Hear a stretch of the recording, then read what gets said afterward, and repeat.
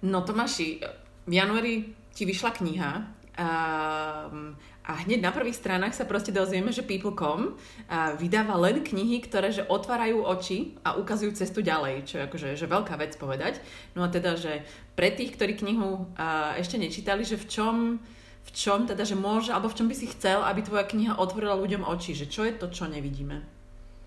To já se musím podívat, co my tam tvrdíme. Mhm. Myslím si, že mě to zní hrozně arrogantně, jestli tvrdíme, že vydáváme pouze oči otevírající eh, knihy. Myslím si, že je to spíš tak, mhm. já se pak mrknu. Myslím si, že je to spíš tak, že vydáváme knihy, které nám otevřely oči Aha. a proto, proto věříme, že by ty oči, že by mohly otevřít i jiný oči. Aha. A, což je v podstatě podstata toho, jak my, v podstatě podstata toho, toho jak my fungujeme, že eh, že obvykle, když se koukneš na typický nakladatelství, tak ty si vemou nějaký eh, seznam bestsellerů eh, a vydávají knihy, který, u kterých je nějaká pravděpodobnost, že prostě tam bude návratnost. A nebo máš pak takový ty jako zájmový, eh, kam spadáme my, kde prostě mm-hmm. ty nakladatelé vydávají knihy, které je nějak prostě oslovili, který jako cítějí, že, že by měly vzniknout v té češtině. Hej. Tak to je náš příklad, nebo případ. Mm-hmm. A druhá část otázky byla, v čem bych si přál, aby eh, tahle ta knížka otevřela oči. Bylo mm-hmm, to mhm, tak? Tak, tak. Mm-hmm. No já bych si přál, aby eh, vysvětlila, co je to dobrý život, uh-huh. aby vysvětlila, že to nejsou radovánky a pohodlí, jak, jak je nám reklamou a médií předstíráno, nebo uh-huh. před, před, před, před, co je to za slovo? Před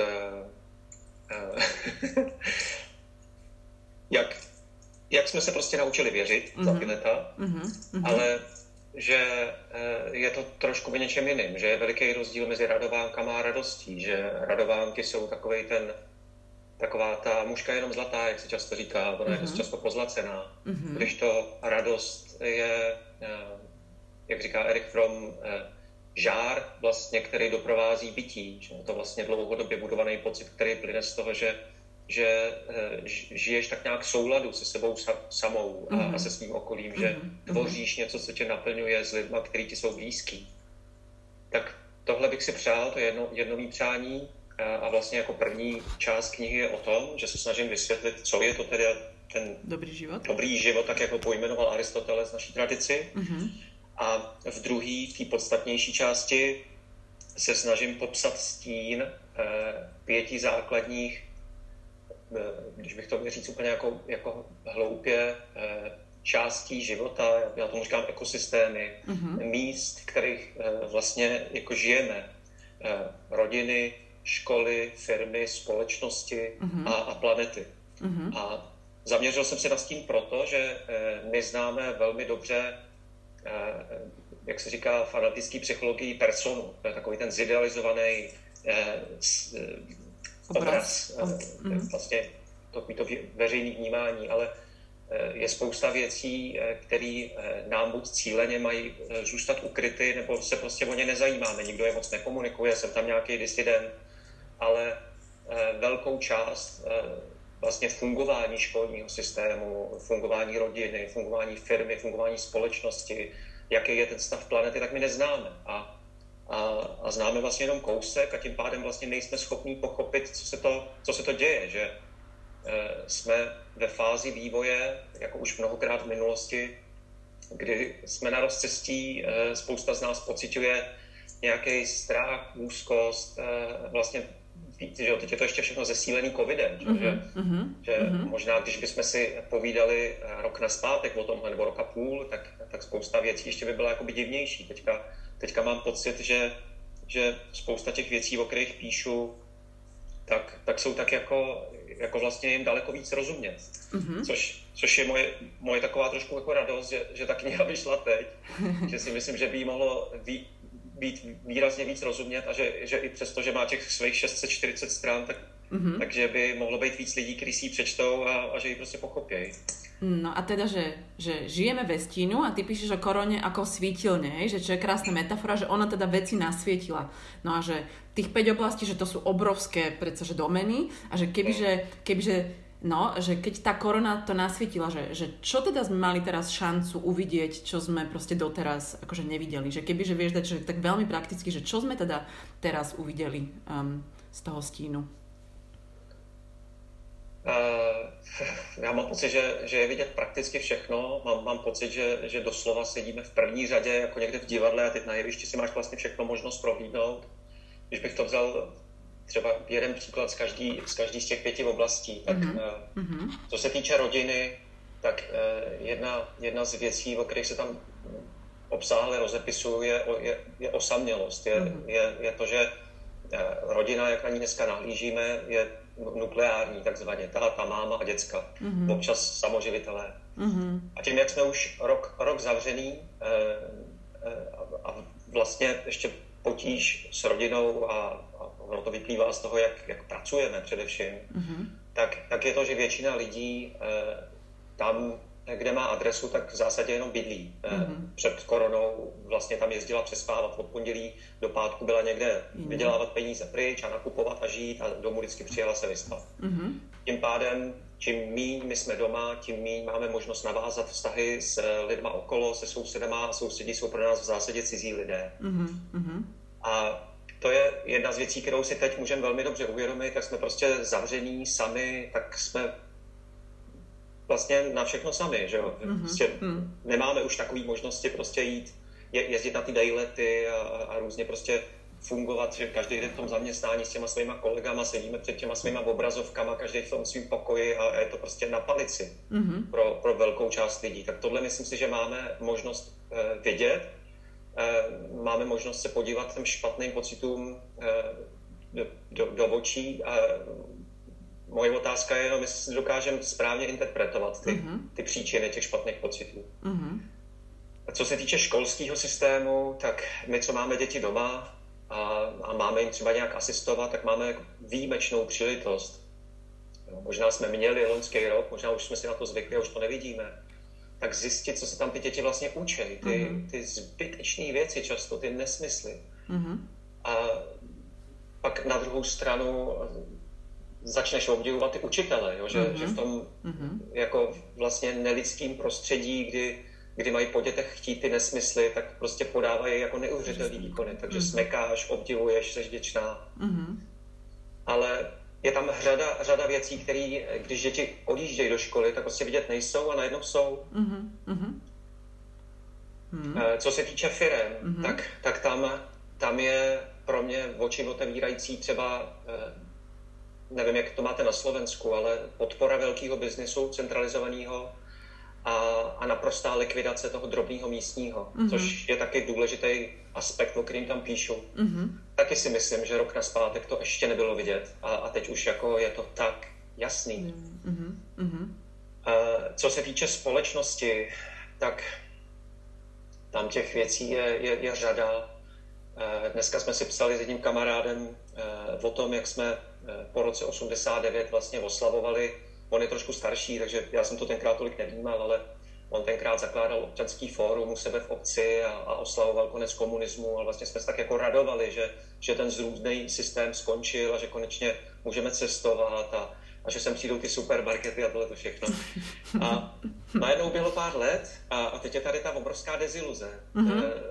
E, chudoba, nerovnosti, e, jo, sociální sítě vlastně se objevily, že jo, nově, což jsou jako fenomenální mm-hmm. nástroje propagandy, kde si vlastně každý může vyprávět, co chce a mm-hmm. v tom důsledku rozdělená společnost. Mm-hmm. Tak, tak to si myslím si, že já nevím, covid třeba je, je velmi výbušný téma. Mm-hmm. Ne, zase nevím, jak na Slovensku. Předpokládám, že to bude stejný, protože to je globální mm-hmm. věc, eh, která dovede společnost rozdělit jako málo co, že jo? Mm-hmm. Jako jestli, jestli je to teda chřipečka, nebo jestli je to jako něco vážného, co máme vlastně dělat, máme nosit troušky nebo nemáme. Očkování, tak, sputnik. Oč, očkování teďka mm. a pasy, pasy očkovací mm. a nevím co všechno, tak, tak zase mám pocit, že jsme v první řadě a, a prostě to vidíš. Mm-hmm. Jo. A ta pěta? Pak, a pak co se týče planety, tak, eh, tak tam Zase mám pocit, loni eh, přestali lítat letadla, eh, vyčistil se vzduch, eh, že vlastně ustala, na čas ustala lidská aktivita a takový ty azijský města úplně jako nejvíc, mm-hmm. ty epidemicky zamořený, kde vlastně nevidějí slunce, tak najednou bylo vidět slunce, že jo, z Benátek hlásili, že připluli delfíni a, mm-hmm. a jo, že ustala lidská aktivita a najednou vlastně ta příroda se, se začala jako jakoby uzdravovat, oživovat, byla vidět. Mm-hmm. Takže si myslím, že těch příkladů je opravdu strašně moc, jen, jen je třeba eh, je nějak správně přiřadit k příčinám, aby jsme pak líp pochopili, co máme vlastně dělat. Jo. A a já si myslím, že jeden, jeden z velikých, myslím, že máme dva základní problémy. První je, že se neschodneme na tom, co je problém. Mm-hmm. to, to je jako veliký. A potom, když už bychom se teda shodli, tak eh, my věříme ve svobodnou vůli. Věříme v to, že jsme eh, tady už bezmála 8 miliard svobodně eh, se rozhodujících jedinců, nezávisle jeden na druhým. A že pokud chceme něco změnit, tak prostě eh, Stanka musí se něco změnit, Tomáš musí něco změnit a Pepa, Jana a tak dále. A to, je, a, a, a to stačí. Mm-hmm. To, to je nesmysl. E, naše vůle není svobodná, naše vůle je podmíněná kulturou, v který, mm-hmm. který jsme součástí. Mm-hmm. A pokud, chce, pokud chceme něco změnit, tak změny se musí stát především na systémové úrovni. Mm-hmm. To je základ. První věc, kterou musíme změnit, je ekonomický systém. E, musíme se dostat od té naší posedlosti růstem poměř, poměřovaným HDP k něčemu, co nám pomůže uspokojit potřeby lidí na planetě a zároveň to bude respektovat planetární limity. Mm-hmm. No a, a mám obavu, zase nevím, jak u vás, už končím, eh, že tahle ta diskuze se ještě nerozběhla. Mm. Že, že pořád, když se zadíváš na veřejnou diskuzi, tak je tam hromada zástupných problémů, samozřejmě hromada Eh, různého povídání o covidu a co se jako děje a neděje a jak to jako je. Eh, myslím, že mraky aférek, různý takový ty jako vy v tom jedete možná ještě víc než u nás, takový ty korupce a kdo co jako ukrát, kdo se s kým kamarádí a politika, ale diskuze o skutečných příčinách eh, a vlastně o všech těch krizích, které se na nás valej, tak to mm-hmm. já mhm. vlastně jako, jako bohužel nevidím. Mm-hmm. No a že to je tá otázka, že keď si človek, hej, že pozrie názvy kapitol v knihe, hej, že v rodinách žijeme sami uprostred cudzích ľudí, škola je príprava poslušných tovarenských robotníkov, firma je stroj na peniaze a moc, spoločnosť je zameraná na ten nekonečný rast, čo si spomínala, zažíva súmrak demokracie a planeta zažíva klimatickú genocídu, že, že to je... Mm, No proste, že naozaj je všetko akože takto v haj, že je to také negatívne a väčšina z nás to nevidí, že, že naozaj um, proste, že väčšina z nás tieto obrovské veci um, proste, že nedokáže vidieť? Hmm. Je, to je závěr, který mu já dostívám, že systémově, pokud nezměníme směr, tak eh, možná nás pár přežije, ale, ale čekají nás obrovský problémy. Mm-hmm. A to jsem se snažil v té knize popsat. Mm-hmm. A, a nevidíme je, nevidíme je už, už proto, že věříme zastaralým mýtům, který nás eh, vlastně, že o základ taky jako začínám tu knihu tím, že, eh, že to, jak si utváříme náhled na svět, stojí na příbězích, kterým věříme mm-hmm. a že spousta těch příběhů je ve skutečnosti mýty, ne, nepravdivými a že pokud se má něco změnit, potřebujeme převyprávět ty příběhy. A věděl byste dať příklad takého mýtu, mm, který nám znemožňuje vidět realitu? No, no ten číslo jedna, jak tam mám deset v knize, Aha, uh-huh. do druhého vydání přidám ještě jeden. Uh-huh. Vypad mi tam mýtus, nebo ne, on mi nevypad, ale nerozpracoval jsem ho dostatečně, mýtus o pokroku. Uh-huh. Ten první jsem zmiňoval, to je mýtus o svobodné vůli, že věříme, uh-huh. že jsme na sobě nezávislé individua, který se rozhodují vlastně jako samostatně. Eh, druhý mýtus je, ten si myslím, že je velmi podstatný, mýtus o oddělenosti. My věříme, že jsme zase jeden od druhého oddělení, mm-hmm. že jsme oddělení od přírody, mm-hmm. že eh, mysl je oddělená od těla mm-hmm.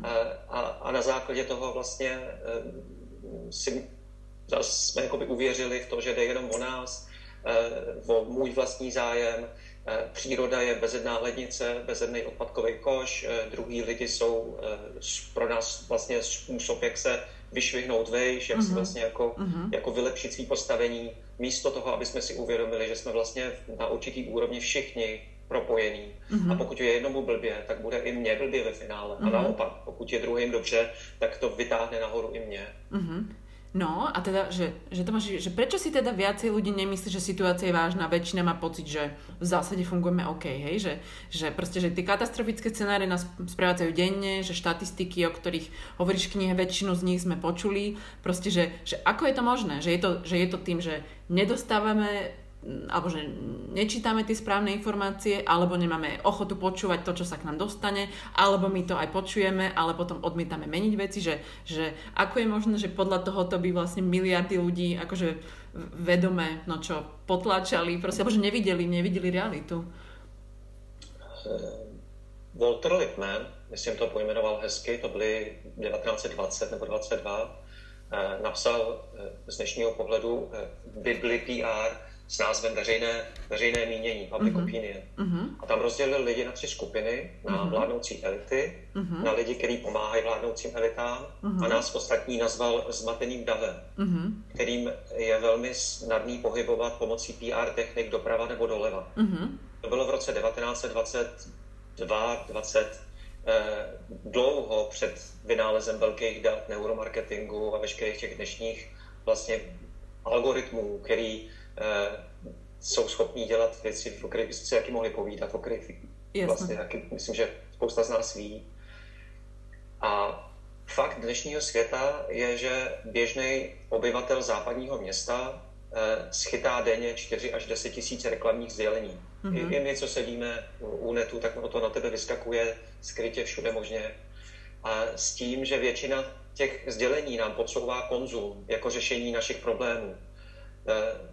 Eh, smysl života.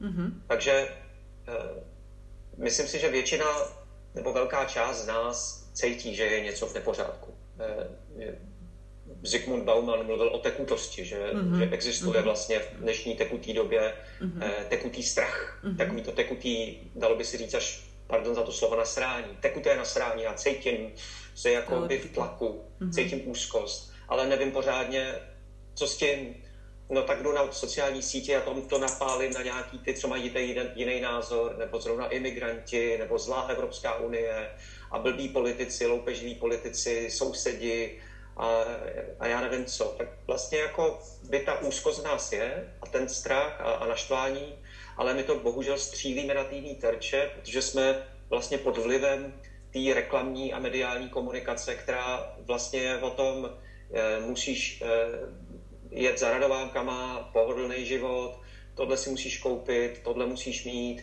a, a vlastně prakticky chybí diskuze o, o těch skutečných příčinách toho, co cítíme, o tom, co se děje a co bychom měli dělat.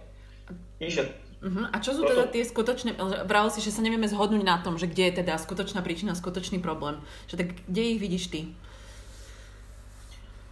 No, uh to, že od 70. let je tady, eh, a tohle je něco, co já se teda učím, učím vysvětlovat, jo? tak já to na tobě otestuju. Dobře, A, a je, to, je to vlastně pro mě tenkej let, na který se vlastně ani nechci pouštět, protože eh, ekonomie mě nikdy nebavila ve škole. Mm-hmm. Nikdy. Mm-hmm. A byl jsem nucený se s tím v té knize vypořádat a bylo to jako pro mě jako nej, mm-hmm. nejmí mě to bavilo. Mm-hmm. Ale když vlastně jakoby si do toho fakt na těch pět let lehneš, mm-hmm. i vlastně díl, mm-hmm. tak zjistíš, že, že vlastně jakoby základem eh, je ekonomický systém, mm-hmm. kterým je dneska eh, neoliberální kapitalismus, vlastně mm-hmm. extrémní forma kapitalismu, očištěná ideálně od veškerý snahy státu, od veškeré mm-hmm. veřejné věci. Mm-hmm.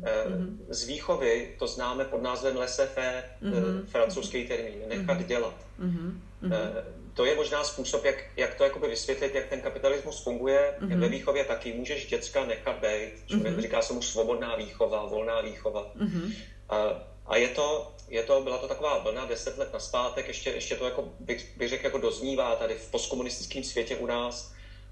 Kamarádi, co se věnují dětské psychologii, tak brečej eh, nad tím, jak mají, jak mají plný poradny eh, těchto těch rodičů, který si vlastně s těma dětskama, který prošli tohle volnou výchovou, nevědí rady, protože mm-hmm děcka vlastně byli respektovaní, ale nenaučili se respektovat ostatní. Mm-hmm. Že oni jsou to takový malí císařové a králové, mm-hmm. který vlastně eh, od malička slyšeli, že, že jejich eh, potřeby jsou vlastně to jediné, na čem mm-hmm. záleží. Mm-hmm. A všichni ostatní by si měli potřeby svý ohlídat sami. Mm-hmm. Stejně tak v tom laissez kapitalismu je, tohle je to, čemu my jsme učení věřit, že já mám svý potřeby, ty já si mám ohlídat, ty máš svý potřeby, ty si taky ohlídej. Hezky se to možná vysvětluje na, na kouření, že kuřák vlastně má právo, neodiskutovatelný právo, do kterého by, by mu nikdo neměl v kapitalistické, demokratické společnosti podle něho, by mu do toho nikdo neměl mluvit. Mm-hmm. Pokud ti to vadí, Stanko, oceni si. Mm-hmm. Jo? Jasné, tak, jasné. tak tohle je prostě jakoby náš pohled. A teď, když to vlastně jakoby, jakoby studuješ, eh, tak začneš zjišťovat, že kapitalismus, pokud eh, nemá eh, určitý mechanismy, který hlídají eh, jeho excesy, tak, tak vlastně produkuje, Zygmunt Bauman, Bauman mluvil třeba o lidském odpadu. Kapitalismus mm-hmm. produkuje lidský odpad, bezdomovce, samoživitele, takový ty jakoby extrémně chudí lidi, exe, mm-hmm. lidi v mhm. exekucích. A pokud nemáš nějakou záchranou síť, že, jak se tomu říká sociální stát, tak vlastně najednou tady máš obrovský nerovnosti, Aha. což bych řekl, že je ten problém. Mm-hmm. A nerovnosti jak příjmový, tak majetkový, jsou problém v tom, že vzrůstá pocit nespravedlnosti. Mm-hmm. Že, je, že je velká část lidí, který vlastně bolí břicho z toho, že dělají, co můžou. Že vlastně dělají to, co dělat měli, jak to slyšeli ve škole, že když se budeš dobře učit, tak budeš mít dobrou práci, když budeš mít dobrou práci, budeš mít dobrý život. A oni vlastně se dobře učili, ale když už přijdou pak na ten trh práce, tak už, eh, že jo, dneska eh, to další z termínů, eh, já jsem to nazval ekonomika umělců, gig economy, tak, takzvaná prekarizovaná práce, že, že stále větší počet lidí se z placeného zaměstnání, z placené práce už neuživí. Mm-hmm. Že jo, mhm. tak se zadlužuje a, mm-hmm. a, a teď čím více propadáš do chudoby, tím horší eh, rozhodnutí děláš. Mm-hmm. Rutger Bregman, eh, holandský historik, to hezky přirovnává k počítači, kde si otevřeš víc aplikací, až tolik, že si tam začne točit kolečko přes mm-hmm. pár hodiny mm-hmm. a, a vlastně si to jako, jako zamrzne tak stejně tak chudý člověk je v situaci, kdy e, přemýšlí, jestli poslat děcka do školy nebo jim koupit jídlo, e, kde zaplatit prostě, jestli zaplatit za elektřinu nebo za plyn, e, už ťukají třeba na dveře exekutoři, takže 25 rozhodnutí najednou a, a logicky ty rozhodnutí jsou horší a horší. Mm-hmm. Takže stále větší počet lidí se dostává do chudoby, na druhou stranu uh, uší a uší skupinka extrémně bohatné, že, že ty nerovnosti nikdy v historii nebyly tak veliký. A, a pocit nespravedlnosti sílí. A čím víc nespravedlnosti, tím víc vlastně, tím, tím víc klesají, to tam mám taky celkem jako popsaný, tím víc klesá kvalita života v, zá, v 12 základních sledovaných parametrech. Mm-hmm. A teraz, že keď ťa počúvam, že takže keď ako keby, že ideme úplne po koreňoch, alebo že čo je teda, že spoločný motív všetkých tých vecí, alebo koreň, tak je to teda, že nezriadené túžby a egoizmus, že jednoducho my sme prestali dávať hranice našim deťom, neregulujeme um, proste, že ekonomiku, že, že, že to je to, že, že úplná voľnosť um, proste našich túžob, ktoré sme zabudli, um, no, zabudli sme im dávať hranice? To, je to, je to myslím, myslím si, že jeden důležitý úhel je, je to, že, že pokud jdeš do této extrémní formy kapitalismu, mm-hmm. tak eh, se dostáváš v historii, vlastně my se můžeme podívat do historie na to, co se stane, pokud mm-hmm. nic neuděláme, mm-hmm. a můžeme se podívat do, do 20. 30. let. Velká hospodářská krize a, a, a druhá světová válka. Mm-hmm. To je vlastně historická paralela eh, toho, co se, co se v nějaké formě může stát, pokud vlastně tyhle ty excesy bychom nějak neošetřili. Mm-hmm. Jo. Protože tenkrát ten kapitalismus byl taky laissez eh, Pak přišla druhá světová válka, předtím velká hospodářská krize, na základě toho eh, New Deal, na západě od Aše vznikl, vznikl kapitalistický sociální stát, na, na východě od Aše vznikl komunismus a vlastně, vlastně na obou stranách Eh, ten stát hrál určitou úlohu a do, do, do, do určitý doby to prostě fungovalo.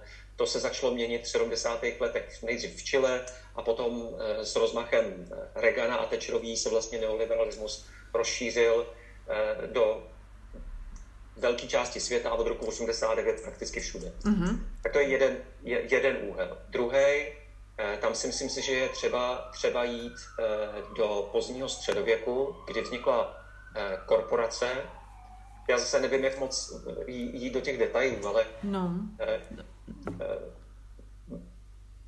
bylo tam v Evropě, mluvím o Evropě teďka, bylo tam krásný období hospodářského rozmachu, mm-hmm. který stálo na tom, že lidi podnikali jeden s druhým, existovali z křižáckých válek, vlastně křižáci přinesli z islámského světa model tržiště, Eh, to znamená, eh, lidi ve středověkých eh, evropských městech měli možnost obchodovat jeden s druhým. To znamená, každý něco produkoval a každý něco nakupoval. Vlastně jako by nádherná peer-to-peer ekonomika, bychom dnešním jazykem řekli, místní ekonomika.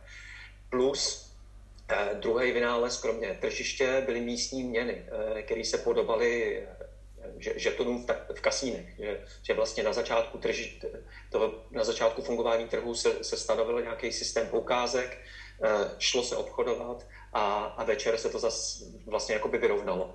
Že, že vlastně místní měna. Mm-hmm. A to způsobilo nebývalý bohatnutí eh, evropských mm-hmm. měst a měšťanů mm-hmm. až do té doby, kdy to začalo ohrožovat eh, vládnoucí elity tehdejší, tím míním šlechtu a, a, a tehdejší už jakoby velký bohatý lidi.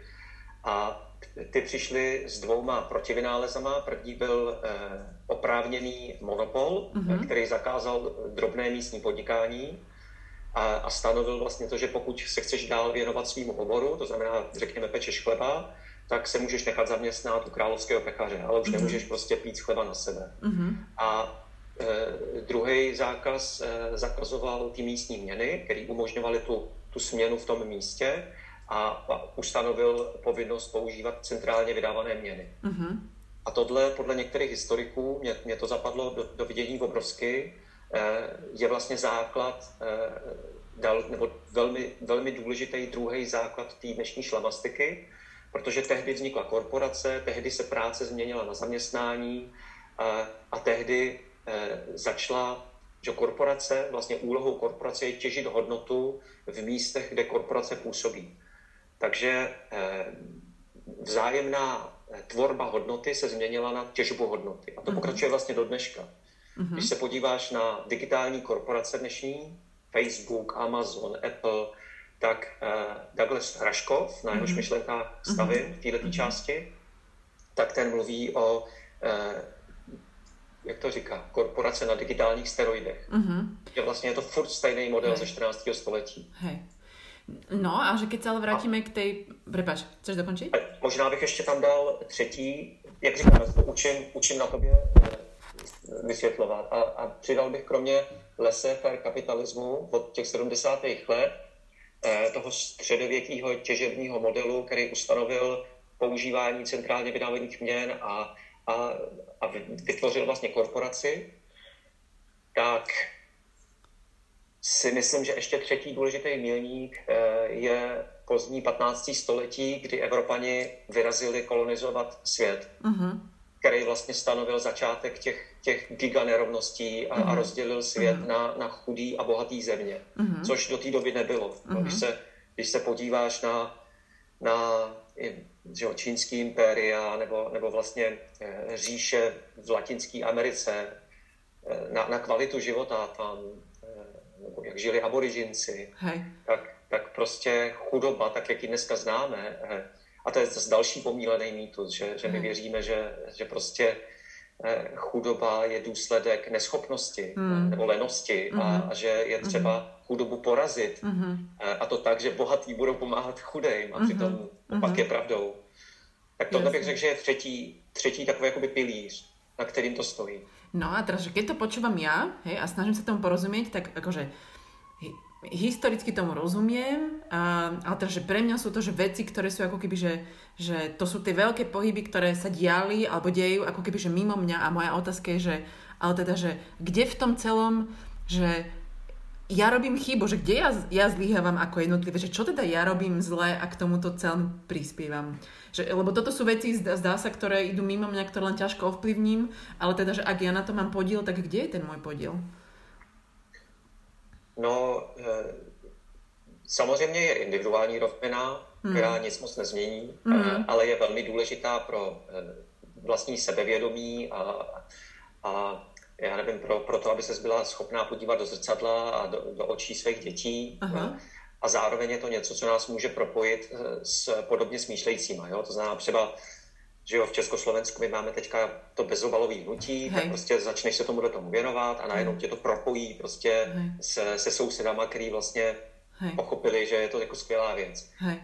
A to si myslím, že je to, co musíme udělat, mm-hmm. že se mhm. musíme spojit a, a jít zpátky eh, do občanského aktivismu, jak jsme ho vlastně zažili v poslední léta, že jo, vy jste, vy jste měli tu šílenou vraždu mm. a, a vlastně mně přišlo, že celý Slovensko bylo v ulicích. Mm. My jsme měli miliony chvil, chvilek pro demokracii, že jo, máme tady Andreje Babiše, máme tady Miloše Zemana a vlastně, jo, což je malinkou technickou odbočku bych udělal. Přijde mi, že tyhle, ty, tyhle ty šílené věci jsou vlastně převlečený štěstí, protože mm. nás můžou vyburcovat, že, že když je opravdu špatně, což ten covid tak je podobný dar, že, že to je takový průser, Hej. Eh, který, který vlastně nám může spoustu věcí ukázat, zaburcovat s náma a, a prostě nás postrčit do nějaký akce. Jo, takže si myslím, že to podstatné je spojit se se přidat se k nějaký iniciativě, vykopnout svoji iniciativu, ale, ale obecně eh, se postarat o to, že zatlačíme, já tomu říkám ředitelé země koule, mm-hmm. zatlačíme na ředitelé země koule, eh, aby došlo k těmhle těm potřebným systémovým změnám. Mm-hmm. Jo, že, a teď různě, že jo, někdo, někdo má vlohy pro to jít do politiky, tak já bych řekl, běžte do politiky, mm-hmm. pro boha za nás, běžte tam za nás kopat. Mm-hmm. Mluvme s politikama, eh, pišme petice, otevřený dopisy, eh, pišme, mě baví psát blogy nebo knížky, že u tebe, my píšeme prostě knížky, píšeme blogy, eh, děláš rozhovory, prostě každý a dělá, co může, ale myslím si, že to hlavní, co potřebujeme si uvědomit, je, že pokud máme mít nějakou budoucnost, tak ty změny musí být systémové. Mm-hmm. A, a, a možná eh, nádherný hnutí je degrowth, eh, nerůst. Mm-hmm. Jo, že, že, že možná to hlavní, co potřebujeme změnit, když pak jako seš v části té planety a přemýšlíš jako o planetě, tak, tak možná to, co musíme změnit, je fakt vymyslet ten jiný ekonomický model, kde cílem nebude růst, mm-hmm. ale bude uspokojení potřeb eh, obyvatel planety s tím, že respektujeme eh, limity země. Mm-hmm. A modely na to existují. Existují ekonomové, dost často jsou to ženy. Na, narazila si na koblihovou ekonomiku? Třeba? Uh, nie, ešte, ale v tvojej knihe áno. Som si povedal, že si to pozriem. To sú nejaké no. kruhy, hej? A to, je, a to je model, který vlastně Aha. můžeš vzít a, a, a podle něj už, eh, já nevím, Amsterdam teď připravuje vlastně ekonomiku města Aha. podle toho. Aha.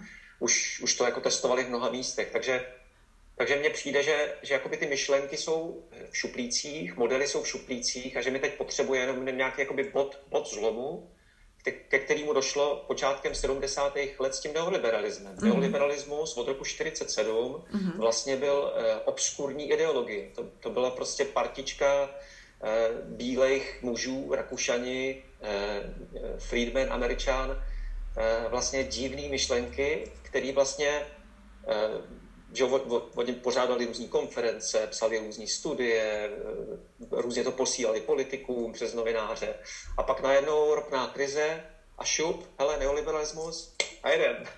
Mm. Takže ona, ta, ta změna se může odehrát velmi rychle Aha. A, a, a je potřeba jenom prostě jako, jakoby dělat na tom, na čem děláme. No. No a teda tá zmena je, je čo? Že aby každý z nás začal žiť dobrý život ako jednotlivec, tak prostě, tak společnost, toto? To si myslím, že je, je, jak říkám, to je hezký jako pro ten vlastní pocit, eh, ale celkově to jakoby nic, nic to nezmění. Mm. Jest, jestli, jestli máme něco změnit, tak prostě těžko říct teďka v covidu, no. No. Ale Možná, možná, jo, jo, už to mám asi. Možná, možná to nejpodstatnější je, je pro mě teďka takový velmi inspirativní člověk je Jason Hickel, tak ne, nevím, jestli si na něj narazila. Mm, mm. A taky vlastně tuhle, tuhle tu otázku mu někdo, někdo pokládal teďka, teďka v nějakém rozhovoru. A on říkal, keep the discussion going. Mm-hmm. Že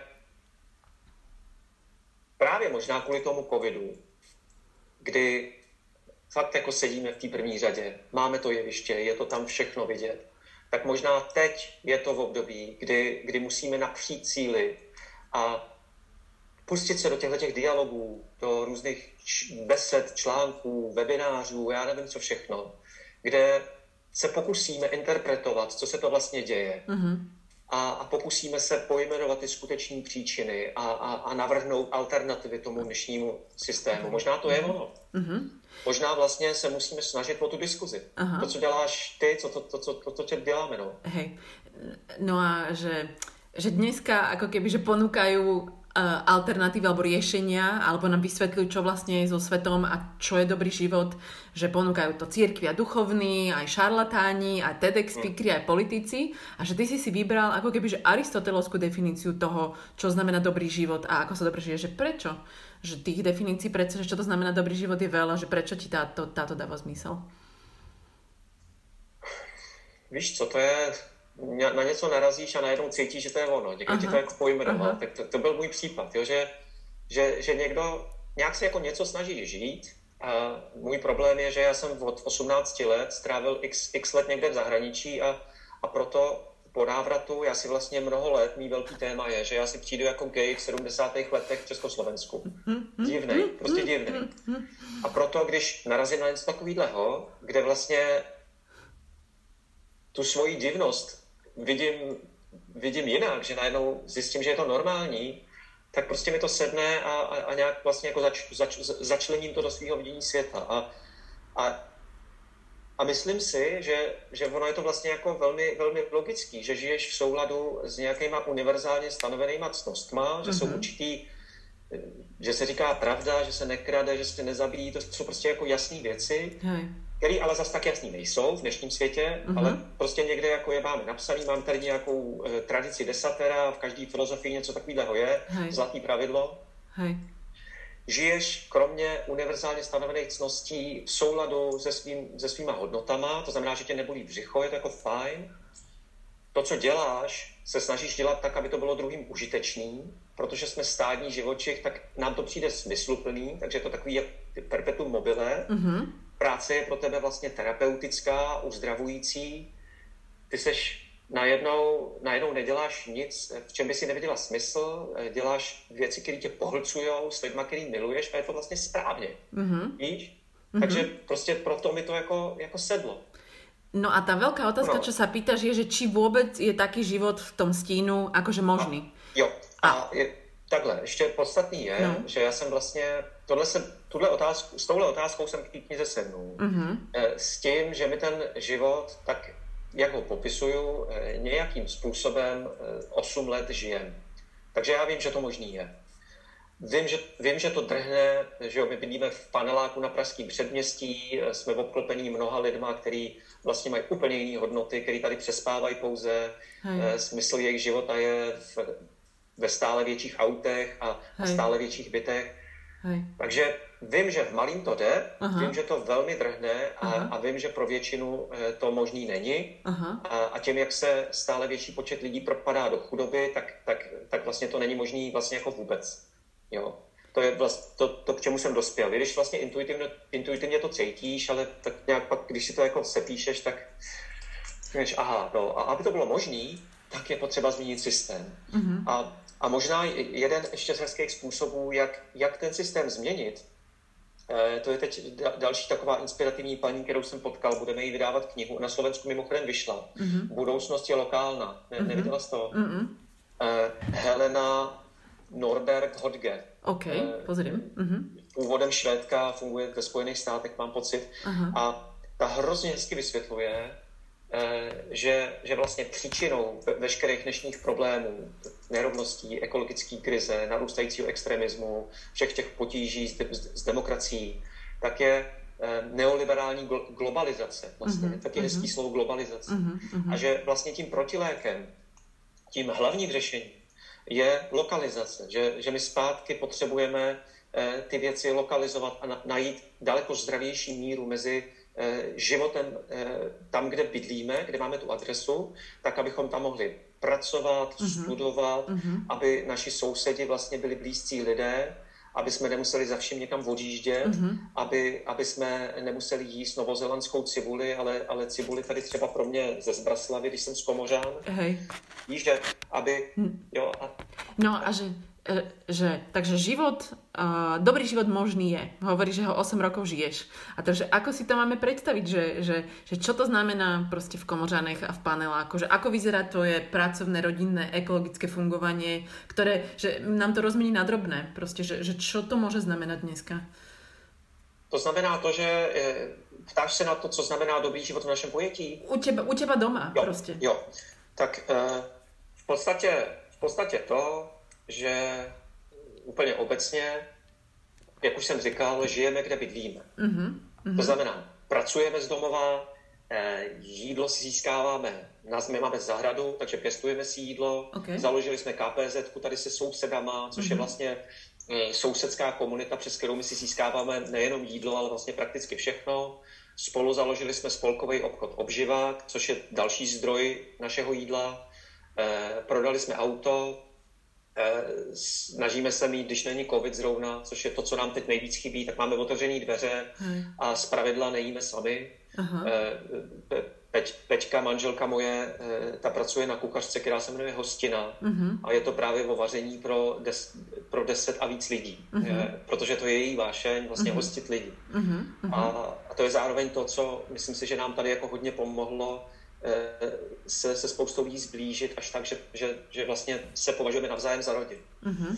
Uh-huh. To je mhm. kouzelný v tom, uh-huh. že vlastně pokud, pokud se ti to stane, že, že ty sousedi nejsou cizí lidé, tak najednou ty se nebojíš vypustit děti ven, najednou nemusíš za všem odjíždět e, pryč, nemusíš všechno kupovat, kdykoliv ti něco chybí, tak jenom napíšeš sousedce do chatu a už to máš, e, nebo naopak ona zase přijde, že jo, Eh, ty děti mají najednou smečku přirozenou, což je vlastně další důležitý aspekt, že aby si vychovala zdravý dítě, tak prostě potřebuješ tři dospělí lidi. A, najednou my tady máme síť tet a strejdů, i když naše děti už jsou teďka větší. Takže eh, nevím, jestli mi je rozumět. Je, no, a že, že, že keby že si to prečíta, hej, že, že niekto, kto mm, proste ide iba po povrchu, hej, tak ty bloguješ o chorobe normózy, nevýchove, neraste, akože všetko je to ako keby, že proti systémom a že pre niekoho to vyznieva ako anarchista alebo nejaký zelený radikál. Takže rozumiem tomu správne, že, že ty nenavrhuješ odchod zo systému ani anarchiu? Ne, ne, ne, ne, ne. Já, já, já hlasuju pro důležitou roli státu. Uh-huh, uh-huh. Já, když, když, bys mě, když, když se mě snaží, mě se snaží různý samozřejmě, kdokoliv vystrkuje hlavu, tak schytává nálepky. Uh-huh, no. Tak eh, asi nejčastější poslední dobou eh, je něco kolem Marxe. Zelený neomarxista mi říkají, myslím, jako něco takového. Ale já, já vždycky říkám, že kopu za dobrý život eh, a pokud, pokud bych měl zkusit nějaký ismus, tak, eh, tak se mi líbí ideály distributismu, demokratického socialismu 20. století, Aha. družstevního hnutí. Je tady v historii spousta, spousta, myslím, inspirací, Aha. ale um, No, Rozumiem. neviem, nejsem úplne dobrý v těle. Jasné, no, ale, že, ale že nemali ste chuť niekedy to proste, že, že odsťahovať sa proste mimo systém, fakt, že akože toto celé proste že nechať tak, alebo že, že kde sa no, v tebe berie No, povedz. My takhle jako, no hele, eh, spousta mýho života je daná tím, že jsem si našel Péťu, manželku, ta je z Prahy, je to městský člověk, potřebuje lidi a je to velký extrovert. Mm-hmm. Takže my nebudeme nikdy v chalupce, v lese eh, vyrábět si svoji vlastní elektřinu, jako to, to myslím si, že ne. Okay. Eh, moje, moje letitá touha byla založit nějakou co-housingovou komunitu, protože vím, že, že mi je dobře, když jsem obklopený lidma se stejnými hodnotama. Mm-hmm. Ale to se nám nepodařilo a tak jsme se prostě rozhodli pro tenhle ten styl. Mm-hmm. Eh, že důležitý aspekt je, že, že my máme Montessori školu, státní Montessori školu přes les, takže i, i to je vlastně další aspekt té lokálnosti.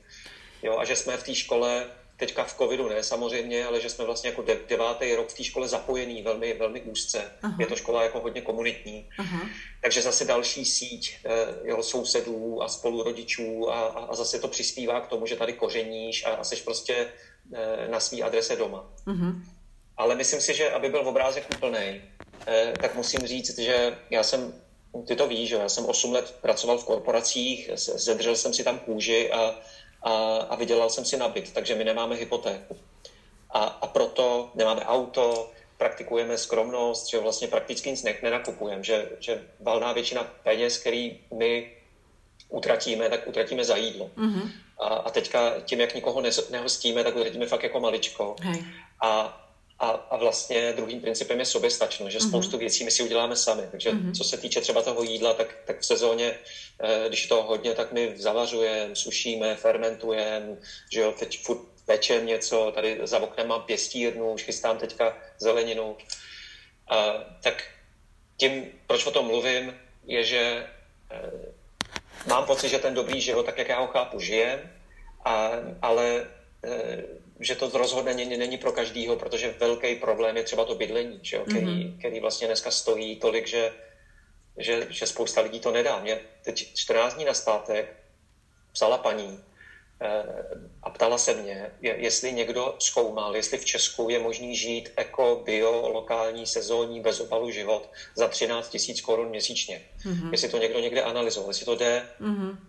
A a dala mi tím strašný brouka do hlavy, protože mm-hmm. mě ti dochází, že za prvý, že to nikdo neskoumal, že to, mm-hmm. že to chci zkoumat mm-hmm. a, mm-hmm. a že, že velká část tohohle toho je vlastně hype pro hipstry a, a pro lidi s vyššíma příjmama, že no. e, jo, fair bio kafe za 50 korun tady v Kelímku, jo, no. bezobalový krámy, většinou mm-hmm. je to jako relativně drahý, mm-hmm. tak tak jak říkám. Mm-hmm. No. Jo, že, že prostě... Bez toho systému se nepohneme, hej? Bez těch no, větších změn. Mm-hmm. Prostě, mm-hmm. že ten covid to teďka ještě zhorší, ale, mm-hmm. ale do mhm. covidu to bylo tak, že, že polovina českých domácností nedosáhla na takzvanou důstojnou mzdu hej, a, hej. a tím pádem eh, prostě hej. spousta aspektů toho dobrýho života je, je prostě jako jenom, myslím, pro tyhle ty lidi jako vizí. Mm-hmm. Myslím, že důležitou, Myslím, že musíme udělat kus práce taky kolem toho, aby jsme vysvětlili, co je to ekonomika. Mm-hmm. To mhm. znamená, že, že to není vlastně vůbec eh, to, jak jsme se tomu naučili věřit teďka od roku 90, to znamená, že když něco potřebuješ, musíš si to jít koupit, mm-hmm. že spoustu věcí si můžeš udělat sama, se sousedama, v rámci rodiny, nazbírat v přírodě a že je to vlastně super, že je to daleko zajímavější, že to je zdroj skvělý práce, že tě to mm-hmm. zblíží s lidma. Mm-hmm. A, a tím pádem vlastně už pak nejseš tolik limitovaná tím svým příjmem, nejseš, nejseš tolik otrok těch složenek, to, tolik, tolik toho vydělávání. Mm-hmm. A, a dobrý život tím pádem může být daleko dostupnější. Mm-hmm. Ale to je zase diskuze, která vlastně jako u nás není. No ešte ten tvoj príbeh, Tomáš, lebo u nás ho veľa ľudí nepozná, ale teda ty si, to je v knihe, to je fascinujúce čítanie, ty si študoval zoológiu v Rusku, divoko si podnikal, spravil si si MBA, žil si to, čo ty voláš krysý život v korporáte, pomáhal si ľuďom zadlžovať sa v GE Capital a teraz vedieš vydavateľstvo, snažíš sa zmeniť svet práce, tam spolu, alebo s rodičmi, teda spolu vedieš Montessori školu, robíš toto komunitné polnohospodárstvo, žiješ bez obalu, bez auta, že, že, že teraz ako keby, že s odstupom, že čo sa tebe vlastne stalo, že čo sa ti vlastne udialo, ako keby, že čo to je, no, že čo sa ti to stalo, že si prešiel touto zmenou? Těch věcí bylo víc a, a mám pocit, že to tam taky někde popisuju v té knížce, protože se sám, sám snažím si srovnat myšlenky, čím to je. Mm-hmm. A myslím si, že zásadní vliv na mě mělo narození, narození prvního dítěte, mm-hmm. Valči. Mm-hmm. Mám pocit, že to změní člověka. Tohle slyším od, od hodně lidí. Mm. Včera, včera jsme si povídali s jednou kolegyní o eh,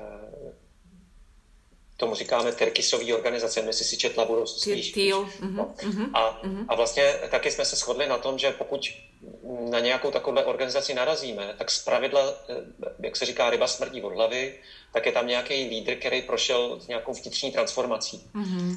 Onemocněl, vyhořel, eh, někdo mu umřel, anebo dost často právě se mu narodilo děcko. Mm-hmm. A, a vlastně tím pádem se napojil na sebe, zpomalil se, tím pádem mu to došlo, že jo, moje oblíbená jazyk, jazyková hříčka, jak my běžíme, tak nám to nemůže dojít, až když se zastavíme, tak nám to dojde, mm-hmm. když nás něco zastaví. Mm-hmm. Mm-hmm. Tak já mám pocit, že to, že to, že to byly ty děti, a, a čo to bolo, Tomáši, že ty si prostě nechcel, aby deti žili vo svete, ktorý si poznal ty, alebo že čo to bolo to s tými deťmi, alebo že no, že, že v deťoch si uvidel prostě seba, alebo že čo, že, že č... No, mám dojem. Uh, dost hezký koncept je uh, odcizení, že, že vlastně Karl Marx to popisoval.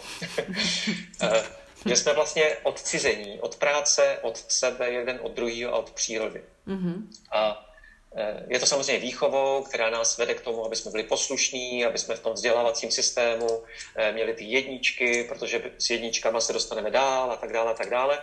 Takže my místo toho, aby jsme poslouchali eh, vlastně svý vnitřní pocity, které nám říkají, co je správně, co je špatně, co je pravda, co je lež, tak se naučíme poslouchat autority, mm-hmm. který nám vlastně vyprávějí ty staré mýty, které oni vlastně slyšeli od těch svých předků, nebo je slyšejí z médií. A a vlastně nás to eh, od sebe úplně, úplně jakoby odtrhne. Logicky pak člověk vyhoří, že? protože tělo řve, dost, dost, tělo vždycky řve, ale my, jak jsme odcizený, tak my to řvaní, což jsou takové kontrolky na přístrojové desce, vlastně eh, buď nevidíme, nebo je neumíme číst. A já mám pocit, že ty děcka eh, nám vlastně pomůžou k tomu znovu napojení se na sebe, mm-hmm. že, že vlastně mm-hmm. zahojejí to oddělení. Mm-hmm. Ne vždycky, že jo? Může se stát, že dost hmm. často vidím kolem sebe, že, že se narodí dítě tady a jak mají tady ty naši sousedé třeba většina hypotéku, tak, tak prostě vidím na jedné straně urvanou maminku, hmm. zničenou, hmm. přetíženou, hmm. nevyspalou a pak hmm. vidím tátu, který vydělává na tu hypotéku. Takže si myslím, že v takovémhle kontextu ti to děcko nepomůže. Hmm. My jsme to pojali tak, Mm-hmm. Že jsme vlastně, to, že Valča byla první děcko do rodiny, takže to byl takový jako dár. E, trošku jsme ji vychovávali lese fé, to bylo taky poučení, aha, že aha. volná výchova, trochu nám to vrátila později. Aha, aha, aha. Snad jsme to malinko napravili, ale, ale najednou začneš od svých rodičů slyšet, je, to je jako ty, ty jsi byl malý, je, to je, ty jsi dělal tohle. A vlastně si znovu začneš prožívat dětství, plus to děcko tě naprosto zpřítomní, že jo, prostě začneš jako by být v té skutečnosti, v té vášni, v, tý, v, tom, v tom dětském světě a tak já mám pocit, že, že se mi stalo tohle mm-hmm. možná. A samozřejmě těch vlivů byly mraky. Ale, ale když jsem se snažil identifikovat nějaký zásadní, tak to bylo tak tohle, to... že jo, ten cest, první cesta do Afriky, mm-hmm. že jo, všechny, všechny prostě báječní lidi, který jsem potkal, různý knihy, který jsem čet, tak, tak ono, to, to bych řekl, zapadá mm-hmm. jako pucle do sebe. Mm-hmm. Plus, jak člověk stárne, tak se posouvá v, že jo, do jiné fáze života a určitý věci ti jako nějak jako zapadnou. Krize středního věku byla asi podstatná taky, taky, taky to člověka jako zastaví a zpomalí. Aha. No a že máš dvě dcery, že, že z toho všetkého, ne, že, že veď ty si plný prostě, že informácií, prostě, že dát a zároveň, ne, že ty prostě, že počúvaš ty príbehy, že, že ty si toho, že plný, že z toho všetkého, ako keby, že čo je nejaká taká, že hlavná vec, ktorú sa snažíš odovzdávať proste svojim deťom? Že čo je, čo je ten hlavný princíp, um, ktorý akože definuje proste, že tvoju výchovu? Alebo že čo je tá hlavná vec, ktorú by si chcela, aby tvoje dcery vedeli o svete? To slyším trošku dvě věci, co bych chtěli, aby věděli. Jedna věc je, co bych chtěl, aby věděli o světě. Tam, no. Tak dáme... Mo- momentálně my jsme ve fázi puberty, takže tam není příjem moc. OK, OK. OK. Například koukáme, eh, teďka v covidu koukáme hodně na filmy a, a já jsem se snažil zavíst pravidlo, že, že filmy vybíráme eh, jednou já, jednou Peťka, okay. jednou Vali, jednou Týna. Okay. A to neprošlo, protože pokud bych vybíral já, tak bych určitě vybral nějaký dokument a to nás nezajímá. Aha. Ale když se ptáš na hlavní princip výchovy, tak první, co mi naskakuje, je, je vstřícnost. Eh, to, to, je, to je něco, co, o čem mluvíme od malička. Říkáme tomu vycházet vstříc eh, a, a říkáme, že eh, co, jak se jim to snažím vysvětlovat dětem, tak, tak je to, že každý z nás máme nějaké potřeby a my bychom si měli učit si ty své potřeby ohlídat. Týna svoje, já svoje a tak dále. A teď jsme nějaká jednotka rodina, fungujeme dohromady a jeden od druhého něco furt potřebuje. A to vycházení vstříc znamená, že pokud můžeš, tak prostě to pro toho druhého uděláš. Ale do té míry, že, že vlastně si ještě furt hlídáš ty své hranice. Mm-hmm. Takže nějak respektovat respektován, myslím si, by, by se to taky dalo nazvat, že se je učím, nebo snažím se nám všem čtyřem tady připomínat furt, že, že prostě bychom měli respektovat potřeby druhých, ale zároveň si hlídat potřeby svý a, a žádat jako respekt od, od druhých. Mm-hmm. Mm-hmm. Tohle bych řekl, že je to, to nejdůležitější. My se tady snažíme mít napsaný ty pravidla na zdi, občas někdo smaže, smaže a, a oni se různě jako vyvíjejí, jsou tam, jsou tam různé jako věci. A, ale tohle myslím, že tam je od malička. No, mm-hmm. Že tohle to jedno jediný eh, nevypadlo. Aby, řek, řekl bych, že nevypadne. Je to v slovenčině, že keď to budem prekladať, že vzájomnosť? Akože taká, že... Alebo že vychádzanie k druhému? A... Také niečo? Uh-huh. A víš, Dobre. já jsem taky přeci jenom z Čech a nerozumím všemu. Dobre, ale zní, dobre, mi to, zní, uh-huh. zní, zní mi to tak. Uh-huh. Zní to, to druhý, no. To druhé. To je jako, že když můžeš, tak to prostě pro tak toho to... druhého člověka uh-huh. uděláš. Uh-huh. Ale bacha, aby se zase jako nezlomila a, a nebyla, nebyla takový ten hodný člověk, který Jasne. se vlastně zaprodal a dělá ty věci pro druhýho proto, aby ho přijali. Uh-huh. Na, na, na, prostě úplně jako v rozporu s tím, co cítí. Uh-huh. No a teraz taká akože filozofická otázka, lebo však veľa z toho to je aj, nie? že to sú vyslovene, že filozofické mm. otázky, ako žiť dobrý život, ale že aj teologické a že tam je, v knihe je celá proste, že kapitola o smrti, kde hovoríš proste, že sme ju vytesnili, ale že práve ona dáva ako keby, že dobrému mm. životu váhu. No a že aj z pohľadu toho, že kto to bude čítať, že, že, a, že, a že čo tá perspektíva ako keby, že života po smrti, že či ona tomu celému nedáva ako keby, že uh, no proste, že ešte inú dimenziu, že možno, že to, kde zlyhávame v ochrane prírody, v podnikaní, alebo podobne, že to je vlastne prostriedok, ako ty vieš prísť proste, že k spáse alebo do neba, že, že, že vlastne, že ono to ako keby, že menej dáva na dôležitosti tomu, ako to dobre tu zvládneme, lebo dôležité je niečo potom, že, že, že toto ti tam niekde um, sedí, alebo rezonuje, alebo...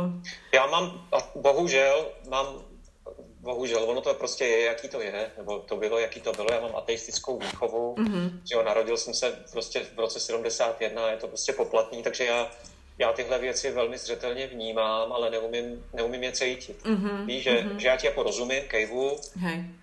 rád bych je, je cítil, že to tak je. Myslím si, že by mi to dalo obrovskou sílu, ale bohužel neumím, víš. Mm-hmm, Takže mm-hmm. Mm. Mm-hmm, chápem. Dobre, a teraz, že ešte, že zaujímavá vec kvôli tomu, že, že kde ten rozhovor vyjde, hej, že tam som sa dočítala, že vlastne, že, že najhorší miest na získavanie informácií sú správy. že povieš nám o tom viacej, že čo to vlastne znamená?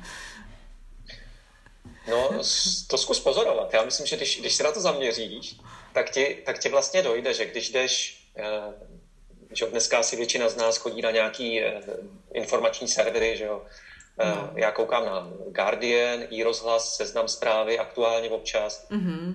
Tak, tak vlastně z celku eh, je tam pár mikro, úplně promilé událostí, které jsou připumpované eh, do, do nějaký vlastně, jako do gigarozměrů, mm-hmm. který ti jsou vlastně předstírány zase, nebo před, před to, to zase používám to slovo, který neumím použít, ale ale vlastně pokud ty za těma zprávama takzvanýma nejdeš eh, s nějakým velmi kritickým myšlením, tak velmi snadno, eh, a, a ono tak je, že jo, my ty zprávy jsme si naučili konzumovat. My prostě tam jdeme a teď to přečteme a prostě tak to jako je, ale ty co, co píšou, četla jsi to, slyšela jsi to, tak, tak se ti může eh, stát, že vlastně uvěříš tomu, že, že tak to je. Zprávy rovná se tak to je, mm-hmm. jenomže on je to velmi úzoučkej výsek toho všeho. A proto si myslím, že je to jako velmi nebezpečný. A pokud, pokud bychom zprávy teda měli nějak, eh, ať už sledovat nebo číst, tak, eh, tak by tam měl být nějaký dlouhý leták, eh, na, jak, jsou, jak je u léku třeba návod k použití. Víš, že, což by mělo být u všeho, že jo? Nebo tak, u, no, takže spousty, čo je spousty... lepší... Aha. Takže čo je lepší způsob, ako, ako mať ten plný obraz? Já nevím, jestli je lepší. Já myslím, že těch způsobů je hromada. Hej výborný způsob pro mě je, pokud máš tu možnost, tak máš vlastně síť přátel po planetě a teď se s něma nějak jako udržuješ, povídáte si, píšete si a teď vlastně jako slyšíš ty věci, o kterých vůbec nevíš, že jo, z Nového Zélandu, ze Samoji, z Holandska, z Ruska. A, že a jsou, jsou vlastně taky ještě, myslím, že podstatný, že, eh, že ty zprávy jsou eh, dost často, eh, jak to říct správně, politicky zabarvení, jo? Že, že prostě eh, my žijeme třeba ve, v, v části světa, kde se ne, ne úplně hezky mluví o, o tom, co se děje v Rusku nebo v Číně. Uh-huh. E, protože politicky e, nám to vlastně jako nefunguje. To, co se politicky děje v Rusku nebo v Číně, je prostě z našeho pohledu špatně. Hej. Akorát tím, jak mám přátelé v Rusku, tak pak vlastně ke mně se vůbec nedostanou informace o tom, co se v Rusku děje, protože přes Putina oni vlastně jako nepropadnou. Aha, aha, aha. A a, a proto mně přijde, že jeden z krásných způsobů, jak vlastně se dozvědět o tom, co se děje, je, je prostě mít nějakou takovou síť, když, když ještě bejval, eh, a ono se to zase rozjede, že jo, eh, couchsurfing, nebo Airbnb, nebo Helpex, Woofing, tak, tak prostě když k tobě jezdí lidi z celého světa, nebo ty naopak jezdíš tam, tak, tak zase je to cestování, je jako výborný způsob, že jo, jak, jak prostě se dozvědět, co se děje. Mm-hmm. Když poslouchám Juvala Harariho třeba, což na jeho myšlenkách jsem hodně stavěl, tak mm-hmm. ten taky říká, že nečte zprávy, nemá mobil, a, a čte knihy, že jo, čte tlusté knihy. Tak, mm-hmm. tak to je taky, myslím si, že velmi důležitý zdroj. Já třeba čtu ten Guardian, ale taky, taky zjišťuju, jak, jak ten pohled je jako omezený a velmi takový jako britský. Mm-hmm. Takže se koukám občas na Intercept a Jakobín a mám objednaný New Internationalist, takový vlastně jako alternativní eh, časáky, eh, informační weby, kde, kde vlastně sa nám jako... poskladá oveľa mm, no, prostě mm, zložitější mozaika toho všetkého, hej? Je to, je to takový mm. pestřejší, no. ale zároveň eh, že člověk musí být velmi opatrný v té dnešní dezinformační době, když vlastně v dezinformační době žijem, jo, homo, homo sapiens je dezinformační jo. druh, jo. ale je to, je to teď jako hodně přifouklý, tak člověk musí dávat bacha. No. Na, na Twitteru sleduju uh, určitý vědce a, a filozofy a to je taky jako, jako zdroj informací, který používám. Aha. A, a vlastně mi teď dochází, že, že hlásám něco, co nedělám, protože taky na to koukám, na ty, na ty aktuálně občas projedu, ale okamžitě cítím, jak mi je blbě. Jo? Jak hmm. prostě otevřu, otevřu ty český média a, a úplně to na mě vpadne, protože to je jenom covid, jenom aférky, kdo je jak špatný, prostě nálož vlastně jako, jako zpráv, který vlastně nechceš slyšet, který ti nic nedají, který tě vlastně jako odvedou jenom od té podstaty. Takže... No jo. No. Posledné dve otázky, Tomáši. Um, jedna je teda, že o tej samotnej knihe, hej, že ona už keď ju vidíš, tak prostě, že to nie je bežná kniha, má obnaženú väzbu, a ako píšete tlačená ekologickými farbami a pretože dávate prednosť nevyhadzovaniu, tak niekedy môže prísť v plagate nejakej strany, ktorá ti nie je sympatická. Uh, že, takže, takže ako to je? Takže aj knižný trh prostě podlieha konzumu a aj tam prostě sa potrebujeme naučiť byť, neviem, zodpovednejší a... Um, hmm. uh-huh.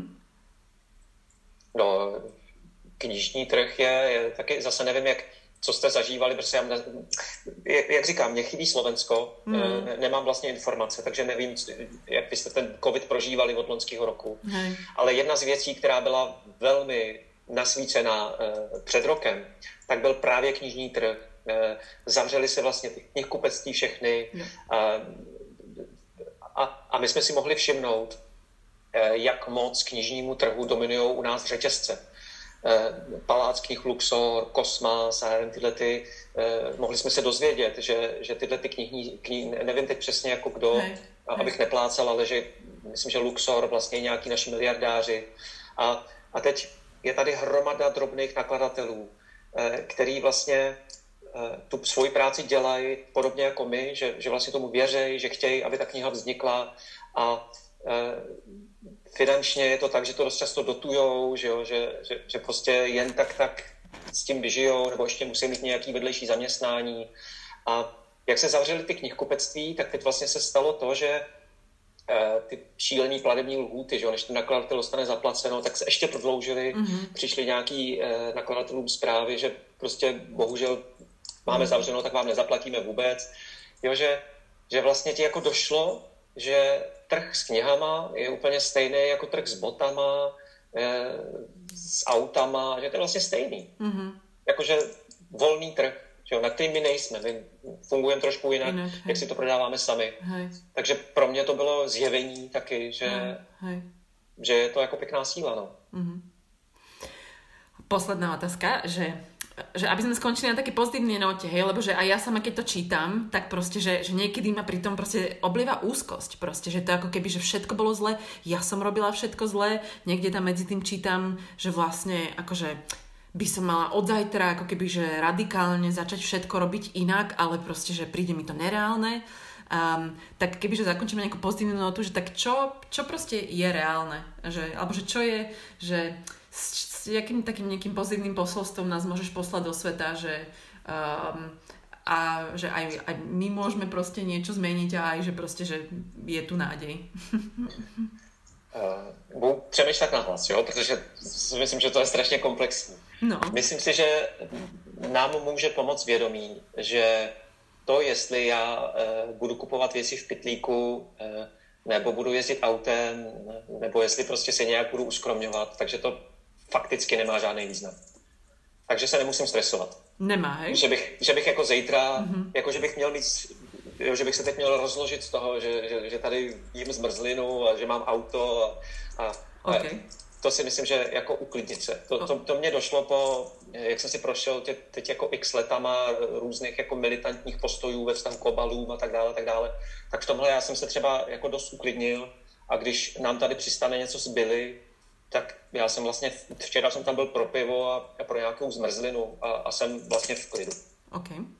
Jedna věc. Mm-hmm. A druhá věc je, vlastně popřu to, co jsem teď řekl, že jestli někdy něco někdo změnil, tak to byli jednotlivci. Mm-hmm. Podívej se, poslední nádherný příklad teďka novodobé je, je eh, kolik je dneska 17 letá školačka, 18 letá už možná Greta, každý z nás si může jít sednout před parlament, každý z nás si může namalovat nějaký transparent, vymyslet nějakou akci, nakopnout hnutí, eh, pokud seš nakopávací typ, anebo se zapojit do nějakého hnutí. Hej. To si myslím, že, že je, to tu nikdy nebylo, Hej. myslím, v historii, že, že tu možnost, že, že ještě že, ženy, že taky separé téma je, je ženy, mm-hmm. se zrovnoprávňují, furt to ještě není tam, kde by to mělo být, ale vlastně Eh, to je holčička, která vlastně nakopla globální hnutí a, a vlastně začala měnit svět úplně jako obrovsky. Jeden jediný člověk. Mm-hmm. A třetí věc, která mě k tomu napadá, je, že nikdy v historii, a, a to já se budu snažit teď do druhého vydání ještě, ještě zvýraznit, nikdy v historii tady nebylo tolik občanských iniciativ na této planetě. Mm-hmm. E, nikdy tady nebylo tolik alternativních škol, e, sousedských spolků, teď myslím, že mluvím především o Evropě, o tom bohatém světě, jo? Že, že, že fakt jako, jako, jako něco se děje, je to, je to v pohybu. Všechny ty lokalizační hnutí, je, to je jako obrovská naděje. Takže i, i možnost zapojit se, jo, naskočit už do nějakého rozjetého vlaku, propojit se s podobně eh, s, s myšlejícíma lidma je jako velmi snadný. Eh, což je asi poslední věc, kterou bych k tomu řekl, ta, ta propojenost, mm-hmm. která, mm-hmm. že jo, šmírovací kapitalismus je peklo, ale když se podíváš na tu stinnou stránku, tu, na, tu, na tu světlou stránku, tak, tak to, jak my se můžeme dneska, my dva, že jo, teď tady, prostě jak, jak si můžeme jako povídat, propojit se. Představ si, že jsme v Číně nebo v Rusku, tohle by nebylo mm, možné, hej, že jo, pokud hej. bychom si povídali o takových věcech škaredej. Tak pravděpodobně, jo, pokud by to někdo teda sledoval, pokud by to mělo nějaký ohlas, tak eh, v Číně bychom skončili někde v, v Laukaji a v Rusku taky v nějaký trestanecký kolonii. Takže to je taky, myslím, myslím fajn si uvědomit, že, že stále ještě máme funkční demokracii a svobodu a, a ty možnosti jsou jako fenomenální. Mm-hmm. A že stále ještě je čas. Že je to průser, ale, ale, mm-hmm. ale prostě jako máme nástroje, máme čas, máme prostor, žijeme v nezřízeném blahobytu. Mm-hmm. Takže, takže to by pro mě byla jako tečka. Děkujem. no, já děkuji tobě.